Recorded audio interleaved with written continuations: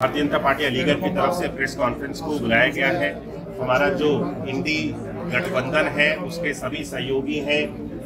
उनके पर्दे को फाश करने के लिए, उनके बारे में हम सभी आमजन को जानकारी दे सके कि किस तरह से इंडी गठबंधन के माध्यम से एक ठग बंधन बना करके चलाया जा रहा है और हमारे देश में जितने भी भ्रष्टाचारी हैं, उनको बचाने का एक रणनीति बनाई जा रही। है हम सब लोग मिलकर के माननीय प्रधानमंत्री जी के नेतृत्व में जो 10 वर्ष का कार्यकाल हम सब लोगों ने देखा, हमारे देश ने तरक्की की है, हमारा देश दसवीं अर्थव्यवस्था से पहुँच करके आज पांचवी सबसे बड़ी अर्थव्यवस्था बन गया है।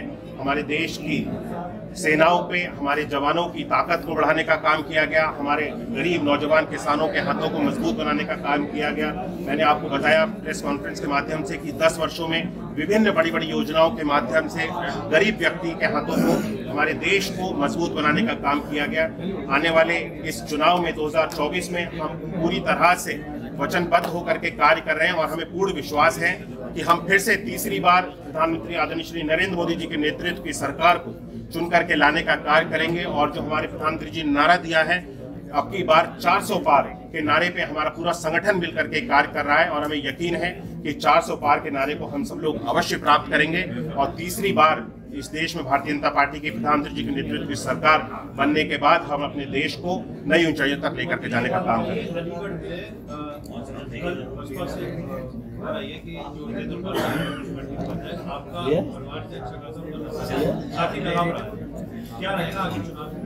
देखिए, मुझे नहीं लगता कि इस तरह की किसी भी खबर से और इस तरह की किसी भी ज्वाइनिंग से हमारी बहुजन समाजवादी पार्टी में हम सब लोगों को हमारे चुनाव पर, हमारे संगठन पे किसी तरह की कोई इसका प्रभाव पड़ने वाला है। और जहाँ तक आप बात कर रहे हैं, जिन शख्स की, वो शख्स भारतीय जनता पार्टी में किसी दायित्व पर भी नहीं थे।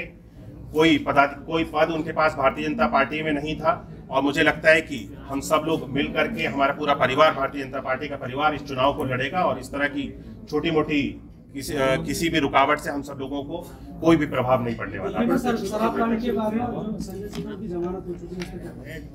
देखिए कोर्ट ने निष्पक्ष तौर पे कार्य कर रही है और जो भी उनके पक्ष में और उनके विपक्ष में जो भी चीज़ें रही होंगी उसको देखते हुए कोर्ट ने निर्णय लिया है। हम सब लोग माननीय न्यायालय का जो भी निर्णय होगा उसका पालन करते हैं और न्यायालय पूरी तरह से निसंकोच और किसी भी दबाव के बिना अपने कार्य को कर रहा है, जो भी विरोधी इस तरह का हम सब लोगों पे आरोप लगाते हैं कि न्यायपालिका की जो भी गतिविधियाँ हैं, उस पर किसी भी तरह का दबाव डाला जाता है या उसको प्रभावित करने का काम किया जाता है, ये सरासर गलत है। मैं इसको पूरी तरह से खारिज करता हूँ।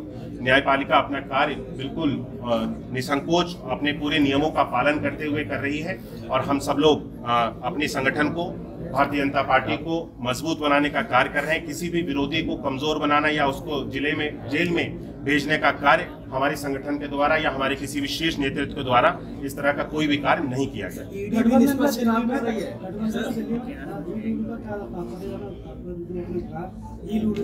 मैंने कहा कि आम आदमी पार्टी दिल्ली में इस इंडी गठबंधन के साथ में मिलकर के काम करते हैं और जब पंजाब की बात आती है तो पंजाब में वो एक दूसरे के साथ में खड़े हुए नहीं दिखते हैं। मेरे कहने का तात्पर्य ये था। ईडी निष्पक्ष काम कर रही है। ईडी पूरी तरह से निष्पक्ष काम कर रही है। ईडी पे किसी भी तरह का दबाव नहीं है और जो भी कार्रवाई हो रही है ये सारी चीज़ें आमजन के सामने है। इसको आप एक एक कार्रवाई को हर एक व्यक्ति हमारे भारत देश का नागरिक जो भी चीज़ें हो रही है उसके बारे में जानकारी ले सकता है। पूरी तरह से जो भी कार्रवाइयाँ हो रही है वो निष्पक्ष हैं। किसी भी तरह के दबाव में और किसी भी व्यक्ति के प्रभाव में और किसी भी व्यक्ति को दबाने के लिए इस तरह की कोई भी कार्रवाई नहीं की जा रही है। ईडी अपना कार्य स्वयं आ, बिल्कुल आ, फ्री होकर के अपने कार्य को कर रही है। ईडी पर सवाल खड़े हो रहे हैं कि अगर भारतीय जनता पार्टी में कोई आया था चाहे कोई भी हो उसके ऊपर छापा नहीं पड़ेगा। देखिए इस तरह का कोई सवाल मुझे नहीं लगता कि इस तरह के सवाल का औचित्य बनता है। बड़ा ही बेबुनियाद सवाल है। ईडी अपना कार्य कर रही है जो उनका कार्य है वो अपने कार्य को